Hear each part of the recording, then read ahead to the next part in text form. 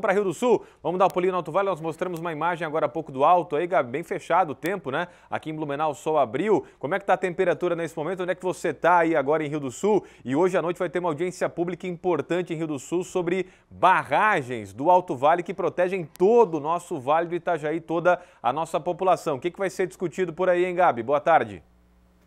Boa tarde, Rodrigo. Boa tarde a todos que nos acompanham aqui no Balanço Geral. Pois é, hoje até o sol quis aparecer ali por volta das 10, 10 e pouquinho da manhã, estava meio tímido. A gente até pensou, né? Primeiro dia do inverno, segundo dia do inverno, aquela expectativa de frio, mas não está tão gelado quanto estava no início da semana, viu? Tá bem tranquilo por aqui tempo está nublado, essa noite choveu bastante, mas hoje já está mais tranquilo. E por falar em chuva, a gente traz hoje uma situação das barragens aqui do Alto Vale que vão ser discutidas em uma audiência pública que acontece hoje às seis e meia da tarde no CINF, o Centro de Inovação Norberto Fran, mais conhecido como Encontro dos Rios, e é aberta a toda a comunidade, né? Vai discutir a situação das três barragens já existentes aqui na região do Alto Vale, tanto em Ituporanga quanto Taió e José Boatê, e até a possibilidade da construção de mais outras três estruturas menores aí para ajudar nessa situação das cheias que são tão recorrentes aqui na, no Alto Vale, né? É a possibilidade de construção de novas estruturas em Petrolândia, Taió e Braço do Trombudo.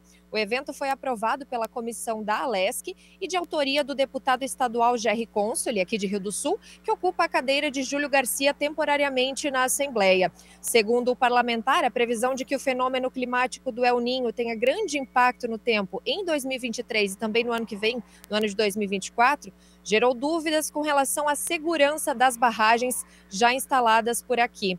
Por isso, um dos objetivos dessa audiência é justamente trabalhar com a prevenção das cheias que são tão recorrentes aqui na região.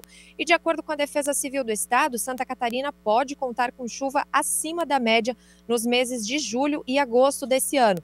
No ano passado, inclusive, nesse mesmo período, houve alagamento em diversas cidades e para que as comportas fossem fechadas, houve a necessidade de bastante interferência política. Então, essa audiência pública, Rodrigo, que acontece hoje, a partir das seis e meia da tarde aqui em Rio do Sul, é como uma forma de prevenção para discutir a situação atual das barragens já existentes e também pensar em novas possibilidades, né? Como que a gente pode prevenir essas cheias que castigam tanto algumas cidades aqui da região.